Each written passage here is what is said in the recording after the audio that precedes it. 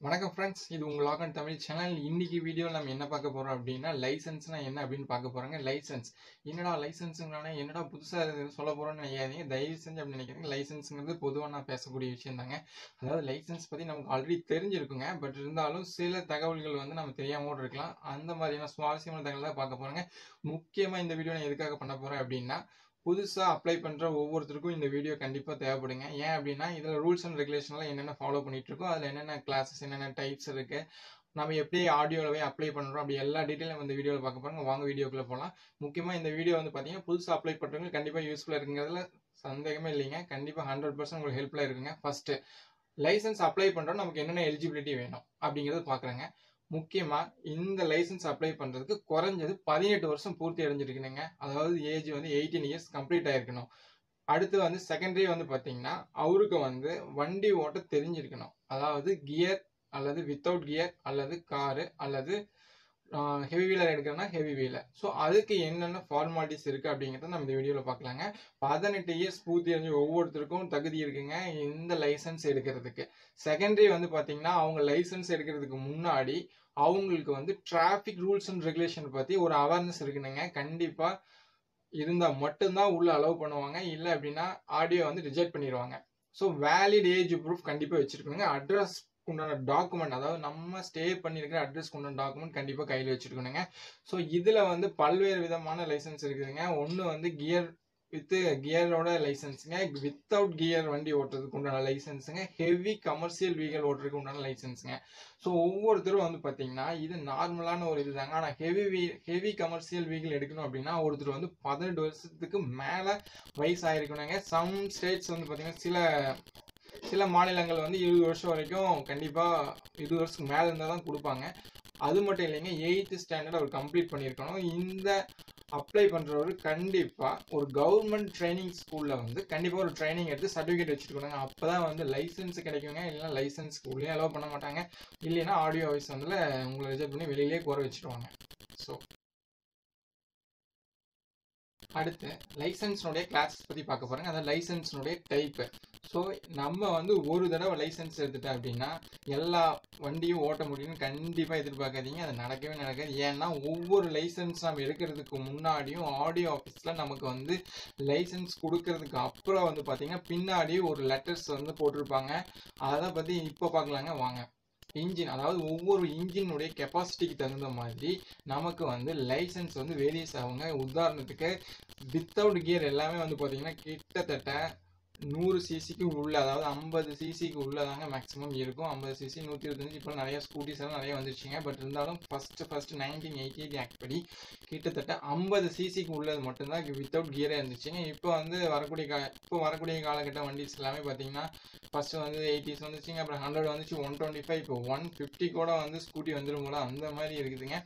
இப்போ வந்து பார்த்தீங்கன்னா அது மட்டும் இல்லாமல் ஒவ்வொரு வண்டிக்கும் வந்து பார்த்தீங்கன்னா வெஹிக்கிள் டைப்ஸ்னு போட்டு ஒரு நேம் வந்து பேக் சைடு கொடுப்பாங்க. உதாரணத்துக்கு பார்த்தீங்கன்னா நீங்கள் தெரியல அப்படின்னா நீங்கள் ஆல்ரெடி லைசன்ஸ் வச்சுருந்தீங்க அப்படின்னா பின்னாடி திருப்பி பார்த்தீங்க அப்படின்னா அந்த அந்த ரிஜினல் ஆஃபீஸ் அதாவது ஆடியோ ஆஃபீஸ் இருக்கு இல்லைங்களா ரிஜினல் டிரான்ஸ்போர்ட் ஆஃபீஸ்னு சொல்லுவாங்க. ஸோ அந்த ஆஃபீஸில் கொடுத்துருக்க லைசன்ஸுக்கு பின்னாடி எல்எம்பி என்டி அப்படின்னு டைப் பண்ணிடுவாங்க. அதாவது லைட் மோட்டார் வெஹிக்கிள்னு சொல்லுவாங்க. இது நான் டிரான்ஸ்போர்ட் பர்பஸ்க்காக மட்டும்தாங்க கொடுப்பாங்க. எக்காந்து கூட இந்த லைசன்ஸ் வச்சு நம்ம பெரிய பெரிய வண்டியை காரையும் ஓட்ட முடியாதுங்க. ஏன் அப்படின்னா அப்படி ஓட்டும் போது மாட்டிட்டா அவ்வளோதான் முடிஞ்சுதுங்க. பயணம் கட்டிடுவாங்க வண்டி சீஸ் பண்ணிடுவாங்க. நெக்ஸ்ட் வந்து பார்த்தீங்கன்னா இதுலேயே வந்து கியரோட வித்தவுட் கியரோட கார் இதுக்கெல்லாம் வந்து பார்த்தீங்கன்னா ஒரு லைசன்ஸ் வச்சுருப்பாங்க. பின்னாடி வந்து என்ன மென்ஷன் பண்ணியிருப்பாங்க அப்படின்னா எம்சி சிஒய்சிஎல் டபிள்யூஜின்னு போட்டிருப்பாங்க.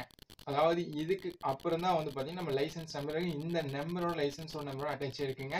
இது வந்து பார்த்தீங்கன்னா மோட்டார் சைக்கிளுக்கு கீவன் கியரோட வந்து ஓட்டிக்கலாங்க. அதாவது M C C Y C L டபிள்யூஜின்னு mention பண்ணியிருந்தா அப்படின்னா கண்டிப்பாக நம்ம வந்து பார்த்தீங்கன்னா கார் ஓட்டலாம் கியர் வண்டி ஓட்டலாம் வித்தவுட் கியர் வண்டி இது மூணுமே ஓட்டலாங்க. ஆனால் எல்எம்வி என்டின்னு இருந்துச்சு அப்படின்னா லைட் மோட்டார் வெஹிக்கிள் மட்டும்தாங்க ஓட்ட முடியும். அதாவது ஐம்பது சிசிக்கு கம்மியாக இருக்கிற வண்டி மட்டும்தான் ஓட்ட முடியுங்க அப்படிங்கிற ரூல்ஸ் இருந்துச்சுங்க. இப்போ வந்து மறுபடியும் காலத்தில் அப்படியே மாறிட்டே வருதுங்க. பண்ணுவாங்க. மீடியம் குட்ஸ் வெஹிக்கிள்னு சொல்லுவாங்க. அதாவது நார்மலாக வந்து ஒரு டிரான்ஸ்போர்ட் பண்ணும்போது அந்த டிரான்ஸ்போர்ட்டிங் வண்டிக்கு வந்து பார்த்திங்கன்னா இது நம்ம யூஸ் பண்ணிக்கலாம். உதாரணத்துக்கு ஒரு ஃபேக்ட்ரிலேருந்து இன்னொரு ஃபேக்ட்ரிக்கு எடுத்துகிட்டு போகிறது ஒரு டெலிவரி வண்டி எடுத்துகிட்டு போகிறது இந்த மாதிரி இதுக்கு வந்து பார்த்திங்கன்னா மீடியம் குட்ஸ் வெஹிக்கிள்னு சொல்லுவாங்க. ஸோ இது வந்து பார்த்திங்கன்னா இது எடுத்தால் மட்டும்தான் அந்த வண்டி நம்ம ஓட்ட முடியுங்க. அடுத்து வந்து செகண்ட் வண்டி அடுத்து வந்து பார்த்திங்க அப்படின்னா ஹச்எம்வின்னு சொல்லுவாங்க.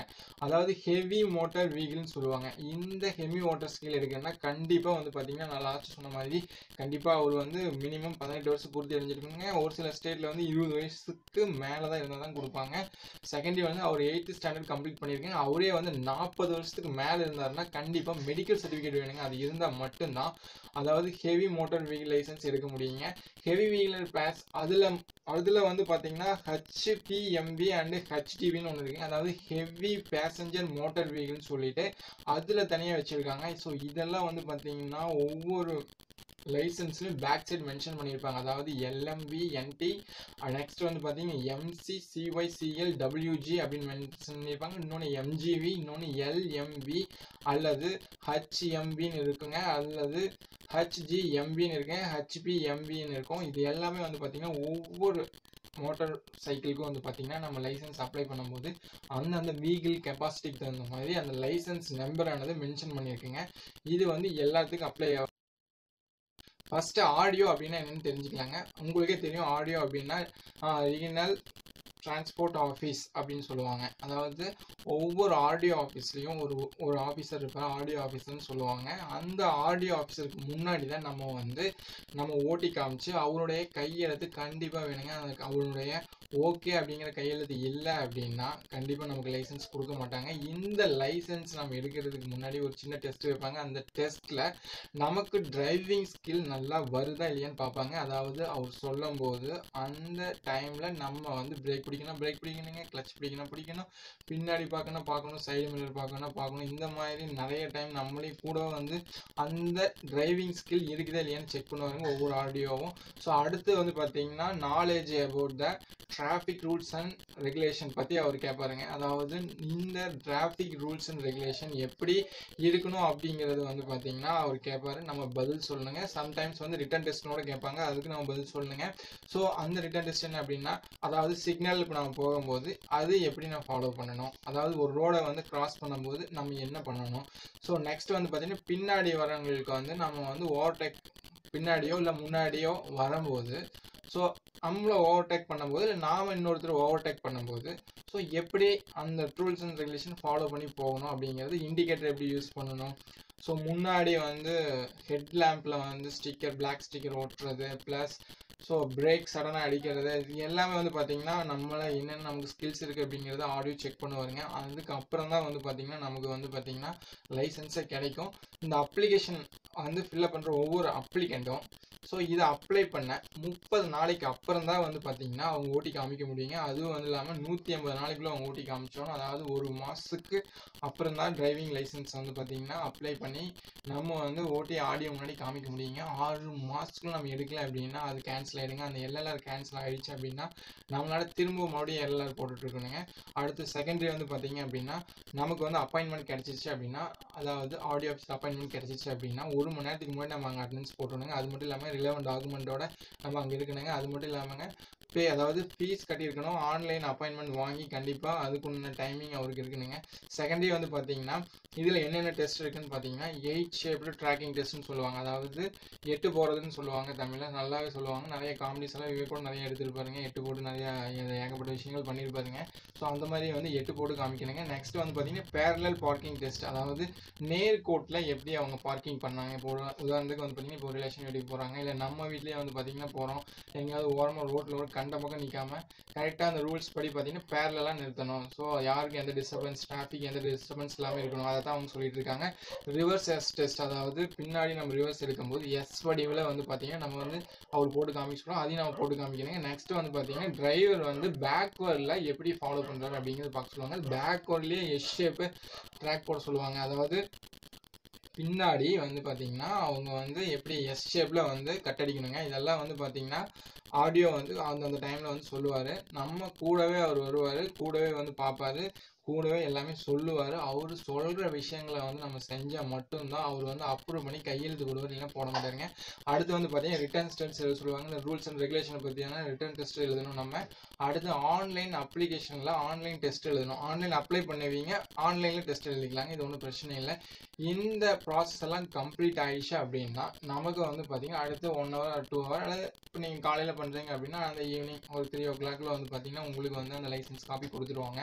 அப்ரூவ் பண்ண காப்பி அங்கேயே எடுத்து கொடுத்துருவாங்க. இன்கேஸ் அவங்க கொடுக்க முடியல ஆஃபீஸ் டைம் ஆயிடுச்சு அப்படிங்கிற பட்சத்தில் உங்களுக்கு ஸ்பீட் போஸ்ட்டில் அனுப்பிச்சி வச்சுருவாங்க. ஸோ அதை நம்ம வந்து கலெக்ட் பண்ணிக்கலாம். ஒன்றும் இஷ்யூ இல்லைங்க. இதுதாங்க நம்மளுடைய லைசன்ஸ் எடுக்கணும்னா ப்ரொசீஜருங்க ஸோ இதெல்லாம் நம்ம தெரிஞ்சு வச்சுக்கிட்டு நம்ம ஆடியோ போயிட்டால் பிரச்சனை இல்லைங்க. இல்லைன்னா நமக்கு வந்து பார்த்தீங்கன்னா லைசன்ஸ் கிடைக்க ரொம்ப டிஃபிகல்ட்டாக இருக்குங்க. லைசன்ஸ் கிடைக்கலன்னா நம்மளால் வண்டி ஓட்ட முடியாதுங்க.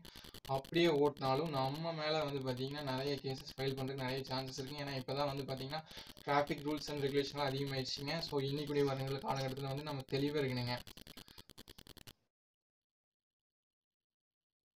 இந்த வீடியோ உங்களுக்கு பிடிச்சிருக்குன்னு நினைக்கிறேன் கண்டிப்பாக ஸோ சில விஷயங்கள் வந்து நீங்கள் தெரிஞ்சு வச்சுருப்பீங்க. ஸோ அந்தந்த விஷயங்கள் வந்து என்னென்ன தெரிஞ்சுக்கிட்டீங்க? உங்களுக்கு ஏதாவது ஹெல்ப்ஃபுல்லாக இருந்து நான் சொன்ன நியூஸில் இருந்துச்சு அப்படிங்கிறத கீழே கமெண்ட் பாக்ஸில் கமெண்ட் பண்ணுங்கள் மேற்கொண்டு இதை பற்றி உங்களுக்கு எதாவது சந்தேகம் இருந்தாலும் கமெண்ட் பாக்ஸில் கமெண்ட் பண்ணுங்கள் நான் கண்டிப்பாக அதுக்குண்டான எக்ஸ்ப்ளனேஷன் கண்டிப்பாக கொடுக்குறேங்க.